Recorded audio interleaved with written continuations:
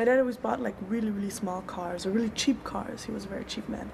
And so we had all the stuff to be um, brought back to Herkratshausen.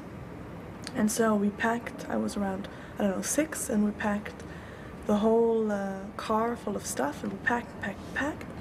And um, we packed the whole car so full, there, were, there was no more space for us. He got, you know, um, uh, like child wine and stuff, and my cousin was there.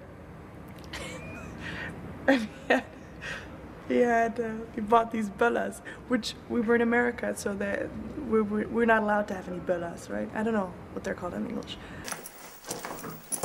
Da, setz dich doch. Ich habe uns auch ein bisschen was vorbereitet. Was soll denn das werden?